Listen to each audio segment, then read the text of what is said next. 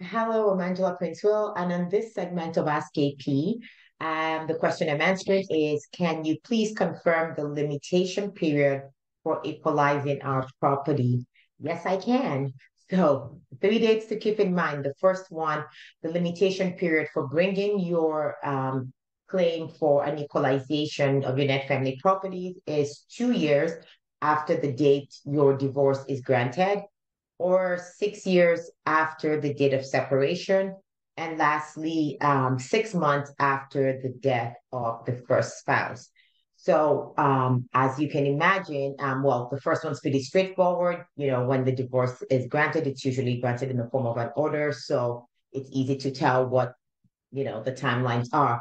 When it, the same, I say the same probably applies to death as well, for the most part when we're dealing with the separation um, date, of course, that is subject to um, interpretation, depending, especially in scenarios where people are still living separate and apart in the um, in the home, right? So, um, you know, or or one party is is thinking that you know the parties are just on a break, but the the the relationship did not, you know, break down to the point where there was no reconciliation the subject of the date of separation is a whole different um, subject. It is a huge area on its own, and I have answered a few questions here and there on the issue of the date of separation. But just be mindful if you believe that you're going, you know, you have been separated from, or if you're looking at um, separating from your partner, just be careful. The time is ticking six years after that date of separation. You may be prevented from bringing a claim for equalization of your net family property.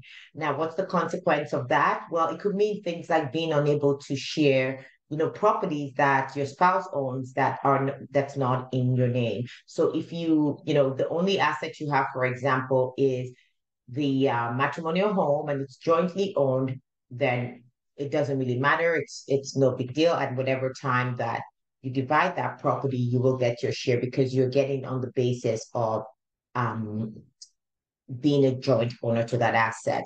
But things aren't always so clear cut, right? You might be shortchanging yourself from, you know, account monies that your partner may have in an account that's solely in their name. If if the equalization period passes, you can't touch that if they have a pension, no matter how large or little, if you allow your limitation period to pass, um, then you know you allow that um, entitlement that you have to to kind of lapse.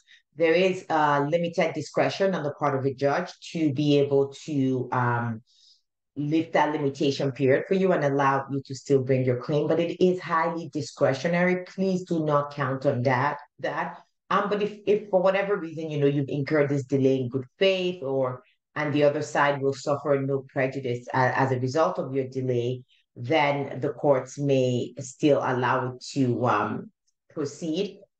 Um, however, um, I mean, it, it's not something that I would want you to, you know, to bank on, right? Just do try to bring your claims at the right time within the the limitation periods, which I will repeat, two years from the date your divorce is granted, six um, years after the date you separate, and um, six months after the death of one spouse. So I trust that answers your question. And until next time, it's bye for now.